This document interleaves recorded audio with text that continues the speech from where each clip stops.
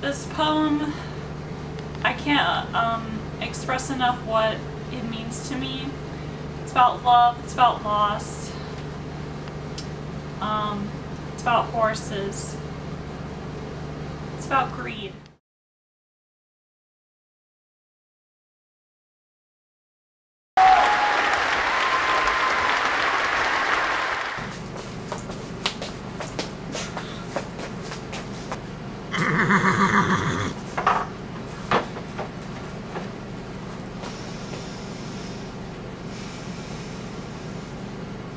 Clancy, Clancy.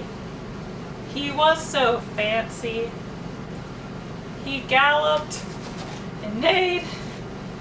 He even was dancy.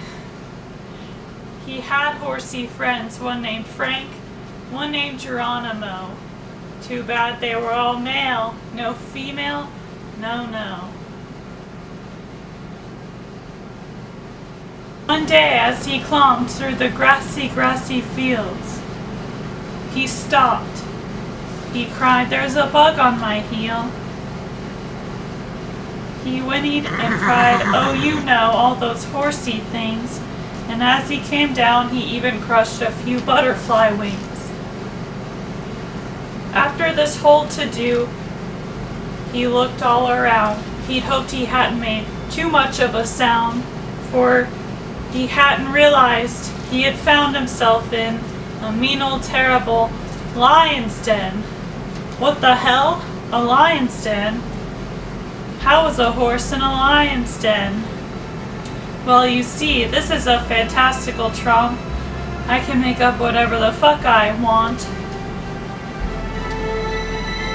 But alas, Clancy's cries had soared high above the heavens and down among the roars of some hungry, hungry lions. Oh yes, so hungry. Time to buy, time to say goodbye to our good pal, Clancy, who was chomp chomped.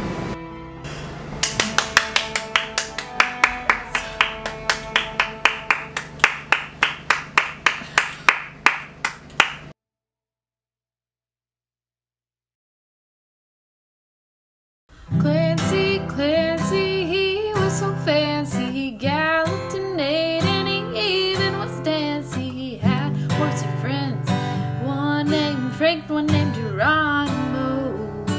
Too bad they were all males, no women, no, no. One day